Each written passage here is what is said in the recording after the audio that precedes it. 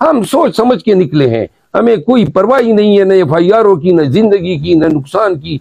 अब हम उस मकाम पे पहुँच चुके हैं जहाँ पे सिर्फ़ हमें कब्र नज़र आ रही है।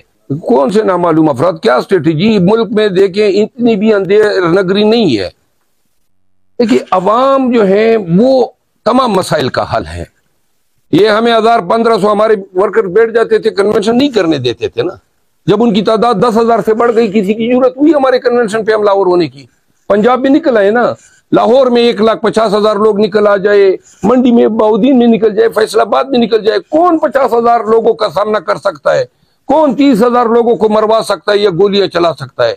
लोगों को जेन में बैठना चाहिए। ये आपका मुल्क है, ये आपके हकूक है।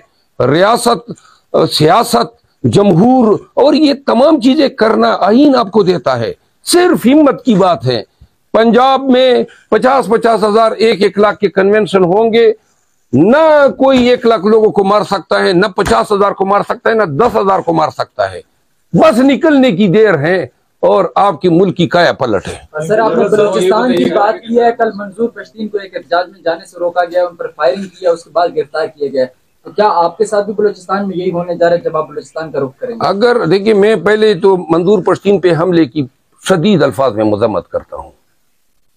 उनकी गिरफ्तारी की भी मजम्मत करता हूँ। किसको हक हासिल है कि किसी पाकिस्तानी पे गोली चलाए।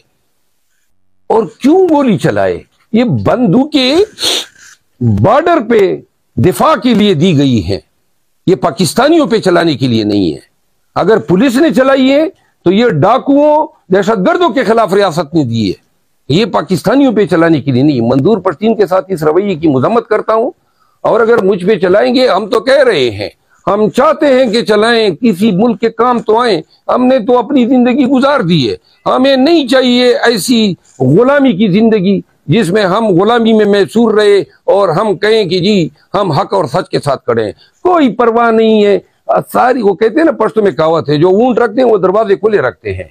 हम सोच समझ के निकले हैं। हमें कोई परवाह ही नहीं है, न एफ़ आई आर की, न ज़िंदगी की, न नुकसान की।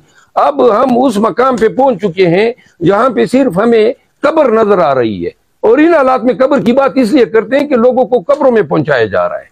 अच्छा बल्ला साहब माजी में आपका फार्म हाउस भी गिराया गया है। अब आपको लाइव थ्रेट्स भी हैं खुद का हमले के हवाले से भी आप बता चुके हैं कि आपको हुकाम बताते रहते हैं। अल्लाह ना करे आपके साथ कोई ऐसा हादसा हो जाए। हम्म। किसके ऊपर इल्ज़ाम उठाएँगे मेरे साथ हो जाए ना तो हम एंटी पाकिस्तानी लोगों पे इल्ज़ाम दौर मैं पाकिस्तान के लिए खड़ा हूँ। कोई मेरा जाती एजेंडा नहीं है। न मुझे कोई वज़ीर बनना है, न मुझे कोई शौक है। और मैं सिर्फ़ खान साहब के इस काज के लिए लगा हूँ कि पाकिस्तान में कानून की हुक्मरानी हो, ये अदालत बेतवकीर ना हो, यही मेरी ख्वाहिश है। क्या हम, हर एक को अच्छा लगता है ना, बच्चों के साथ बैठे, आराम से ज़िंदगी गुजारे। किसी पागल कुत्ते ने काटा है। लेकिन अगर सब ये सोच रहे ये मुल्क के लिए कौन खड़ा होगा? तो लिहाजा, और मैं आपको बता दूँ ना, ये मेरा डिटर्मिनेशन है। इस दिमाग में ये अब खलल पड़ा हुआ है ये निकल ही नहीं सकता है कि कोई ये कहे अब वो डर के और इन चीज़ों से बहुत आगे निकल चुके हैं।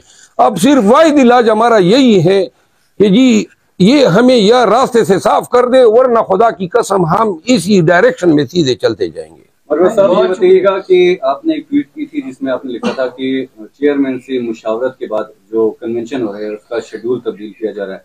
तो थोड़ा सा ये बताइएगा कि मुबारकबाद के लिए गया हाँ मैं बैरिस्टर गौर साहब की बात कर रहा था। और बैरिस्टर गौर साहब अब हमारे मौजूदा वक्त में फिलवक्त चेयरमैन हैं तो उन्हीं की निगरानी में, उन्हीं के हिदायत के तहत हमारी पार्टी ओवरऑल जो है, खान हमारे हमारे कायद भी हैं।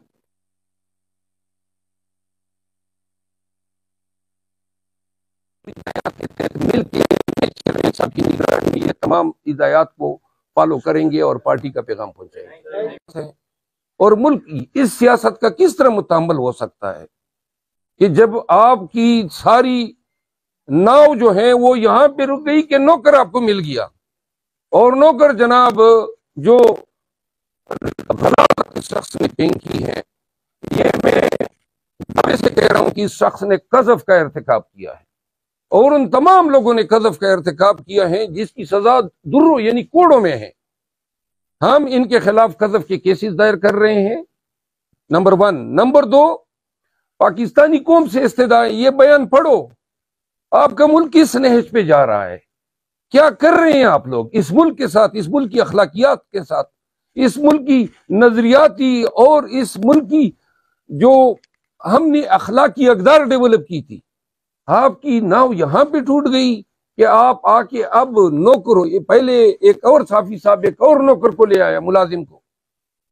इस पे आप खान को नीचे दिखाना चाहते हैं। अगर आपके बयानियों में थोड़ी भी थोड़ी भी अहमियत होती, देखिए मैं आपको कानूनी तौर पे बताता हूँ। ये केस कानूनी तौर पर मैं इसमें रिप्रेजेंट कर रहा हूँ दोनों को, चेयरमैन पीटीआई को और उनकी बीबी साहिबा को। ये मुकदमे में ये गवाहान हमारे सामने आएँगे। सबसे पहली बात यह है कि इद्दत के बारे में ये सेटल ला है कि सिर्फ़ और सिर्फ़ ये खातून बता सकती है। आप लोगों ने इसको डिस्प्यूट कर दिया। फिर जब आपको वहाँ पे कुछ नहीं मिला, सात साल पहले या साढ़े छह साल पहले खबर मानिका का बयान आया है। वो अभी भी मीडिया की जीनत है। इनके बच्चे, यानी अब खावर मानिका अपने केस में, अपनी जोजा के खिलाफ जो बयान यानी सबका जोजा जो उस वक्त उनकी जोजा थी, क्या बयान दिलवा रहा है?